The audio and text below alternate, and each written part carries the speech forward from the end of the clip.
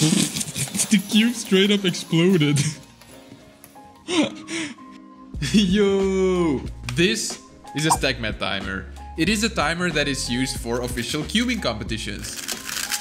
But you probably already know this because it has been the same for quite some time. But here's my question to you. Have you ever accidentally thrown your StackMat timer on the ground and it broke?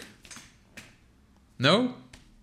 Well, me neither, but in case you are planning to do so, we have now the QiYi timer. It's basically just a copy paste of the original StackMat timer. It's like that one meme that goes like, hey, can I copy your homework? Yeah, just change a few things so it doesn't look too obvious. Gotcha.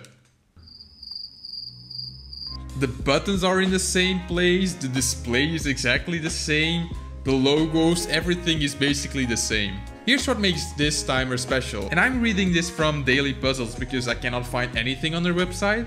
Listen to this. Traditional timers, like the StackMat timer, have their internal components separated, which makes them significantly more sus suscept susceptible suscept susceptible to damage, while QiYi, this one, has theirs welded directly onto the circuit board, which gives a significantly more reliable connection.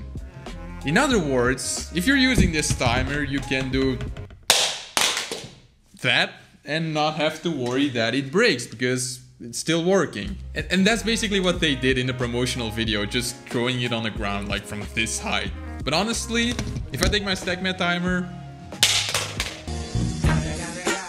I don't need to worry, it's still working. See? So yeah, this doesn't really show how durable the timer is. But oh boy, today we will give it a test. I will test how the timer deals with some real life cubing situations that are pretty rough. So will it break? Let's find out. Back to this angle. So situation one is you're using your timer, but every time you stop your timer, it is drifting towards the edge until you accidentally kick it off.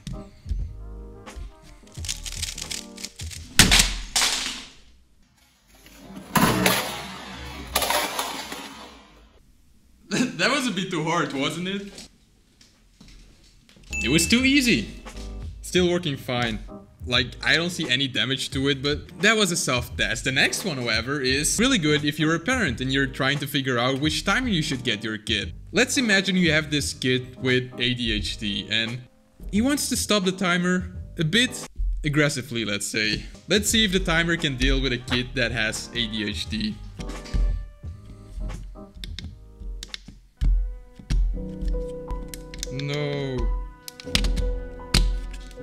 He doesn't want to start.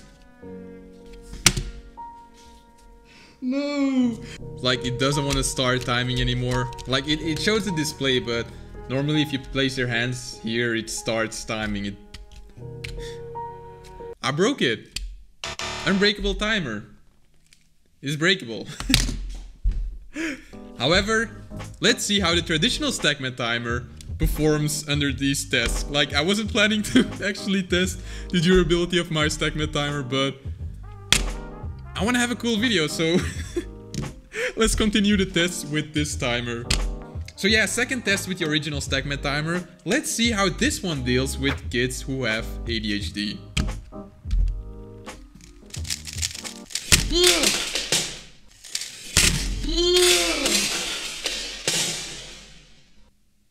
I damaged my wall.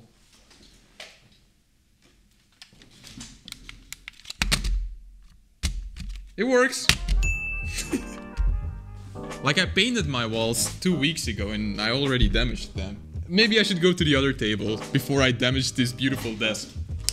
Alright, situation 3. We've probably all experienced this at some point. So we are about to get a really really good time, but somehow you don't stop the timer well, so you have to do it a second time. Let's see how this one deals with that.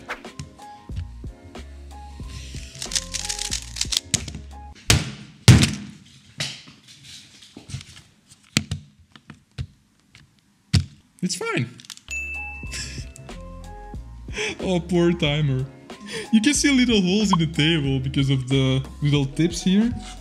Oh gosh, that was hard. So it's pretty stop proof. The next test. So we're solving our cube and we want to stop the timer, but accidentally we hold the cube while stopping a timer. So we basically smash the cube onto the timer. It can happen. It has happened to me. Let's see how it deals with that.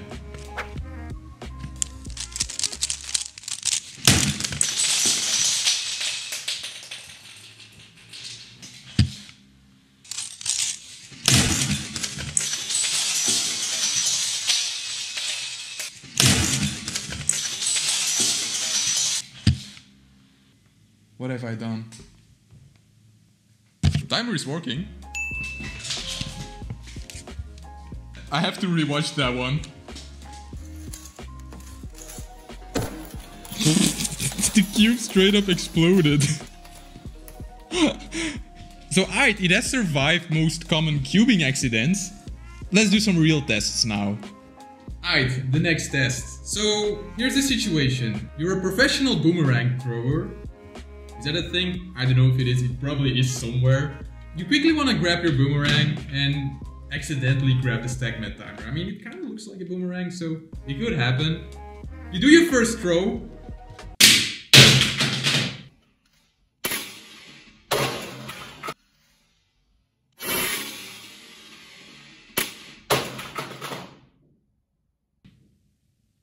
And he doesn't come back. And you realize, oops, that was my StackMat timer. It still works. this thing is so tough. I, I only have one more final test for it and, and if it passes that one then it is pretty much indestructible.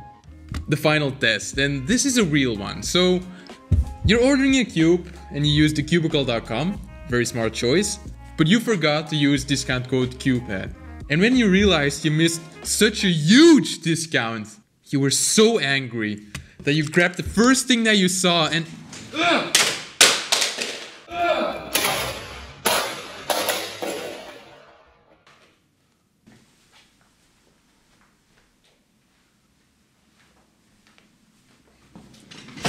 that was really hard.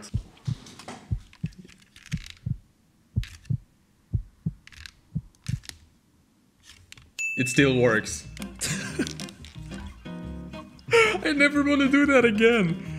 this is like the only StackMat timer I have, so it couldn't break, but it didn't.